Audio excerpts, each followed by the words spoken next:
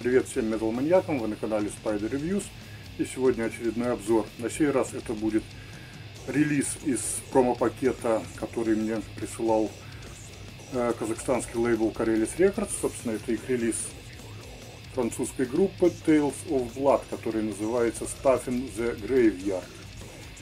Релиз сделан в шестипанельном матовом диджипаке и ограничен всего 100 копиями.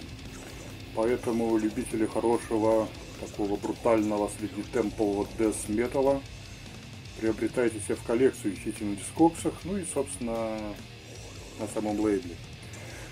Группа далеко не молодая, была образована в далеком 93 году и записала всего лишь одно демо и епишку.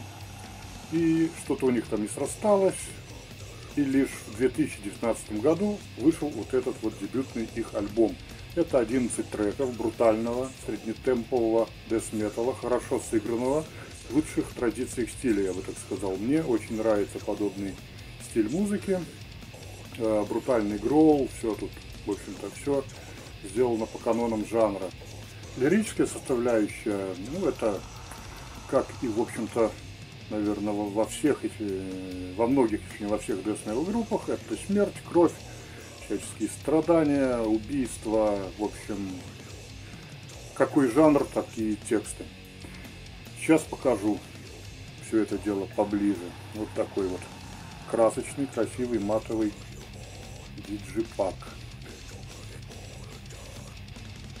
Личная информация, история группы. Собственно, вот такая вот фото. Как вы видите, такие злые дяди в брутальных майках. Группа сама базируется в Париже. Собственно, тут логотипчик на его. И вот такой вот с минимальной накаточкой. Это, наверное, фишка Karelis Records. Дисочек, то есть, как видите, логотип, название лейбла, название альбома. Это восьмой релиз в каталоге Karelis Records как я говорил, 100 копий.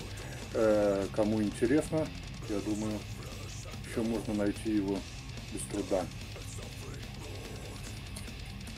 Вот такой вот хороший альбом. Ну, на этом как бы и все. Что тут можно еще сказать? Хочу пожелать вам, как всегда, здоровья. Ходите на концерты, поддерживайте метал-музыку, метал-лейблы, группы. Покупайте физические носители, мерч. Собственно, этим самым вы и поддерживаете весь этот метал движ. Всем пока, до новых встреч, металл.